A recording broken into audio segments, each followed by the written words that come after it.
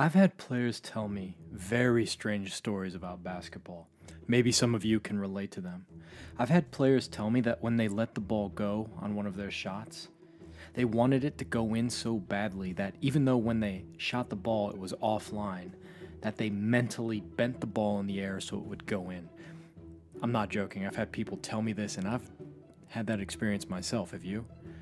Joe Namath, who was a great quarterback in the NFL, one time said, You know, sometimes I let the ball go and it's in the air and I didn't put enough on it, but I'm watching the ball in the air and I want it to go an extra 10 yards and I do it. Somehow mentally, I push it that far. I've had players tell me that they get the ball stolen and the guy's going down, you know, they get their pocket picked and the other guy's going down for a layup and they want that player to miss the layup so bad that they do.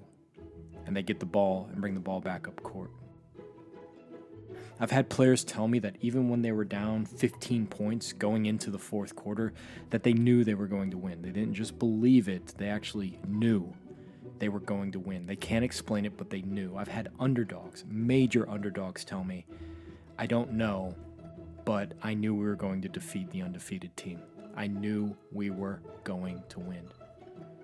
Strange things happen when you invest your entire being into winning, into being your best. And it only seems to work for those players who are putting in hours and hours and hours of practice.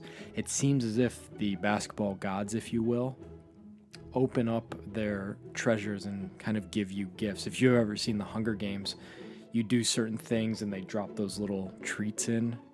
Well, when you sacrifice in basketball, it's sort of like getting one of those little gifts dropped in on you. It's hard to explain, and I know it's sort of metaphysical and a bit new age, but I've talked to too many players and I've talked to too many athletes who this has happened to.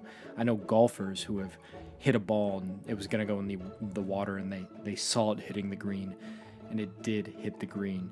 It's almost like The Matrix, if you've seen the Matrix movie. If not, you should watch it. The main character, Neo, has certain. This is a spoiler alert, so turn it off if you haven't seen it.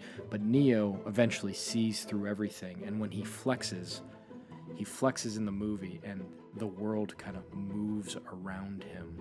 It fluctuates around him. And if you've ever been in the presence of somebody like Kobe or Jordan, you can feel space and time sort of shift and bend around you when they walk into a room. A wealthy family member of mine, I, will never forget this. I walked into, I didn't know him that well, but you walked into his office, and when you did, you felt like everything was possible.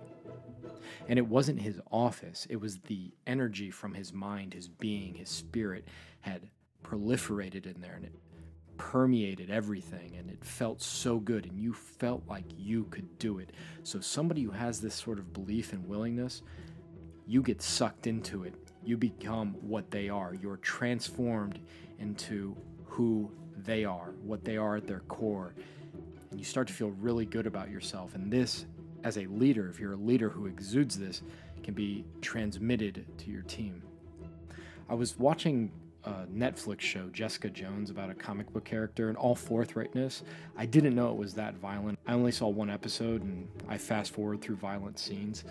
I don't think it's good for your mind to do that. It's not that I can't take it. Trust me, I read a lot of things about the horrors in the world in the news. So it's not squeamishness. I just think it's gratuitous when it's in movies. But that's for another podcast. But I as I was watching this, one character in the show had this superpower where when he stepped into the room, anybody in his presence, I guess he gave off pheromones or something, but anybody in his presence would have to do what he said. If you were within, you know, a certain perimeter of him, you were intoxicated by whatever it is that was emanating from his pores and you had to obey his commands. And he was a villain, villain, so he sent people to do awful things. But there is something in people that when you believe in what you're doing. You know, when I was building some of my companies, I believed so much in what I was doing that I drew people towards me who would work for free, who would do what I said, who believed. So we all kind of have this power to find people who will help us. We also have this ability to shape reality, to bend things, to create synchronicities and coincidences that don't happen for, sorry to be blunt, lazy people. Steve Jobs, the founder of Apple, was said to have a reality distortion field, meaning He would see things that were impossible, but he believed them so much that you would start to see it too. You would start to see, okay, maybe we can put a thousand songs in a phone. Maybe we can change the world. A friend of mine recently told me that luck is a skill. I never thought of it that way, but it is a skill. It's it's a way you think, it's a way you go into the world, it's what you believe. When you think luck is a skill, you have to ask yourself what is a skill? It's something you acquire with practice. Well, the way to practice to have luck is to simply walk around and feel lucky. Don't wait for external events to line up. You use a reality distortion field and you see yourself as lucky right now that when you play, you get all the breaks. When you do anything, things work out. You carry this into your life, not just in basketball. Everything and everyone is on your side when you are on your own side. Remember that saying. Everything and everyone is on your side when you are on your own side. When you have your own back, when you believe in yourself, people come to you. So get excited each day. Things are going to work out because you are a lucky person. When people enter your presence, they'll start to know that anything is possible. It's the attitude of great leaders and winners, whether it be Jordan, Steve Jobs, or you. Start putting yourself on par with great people. You have nothing to lose. What's the alternative? To look at yourself as average and mediocre? If you have a choice between being confident or not, why not be confident? If you have a choice between being lucky and unlucky, you might as well be lucky. Go to basketballbrain.com if you want to train your brain. There's a free shooting workout available on the site.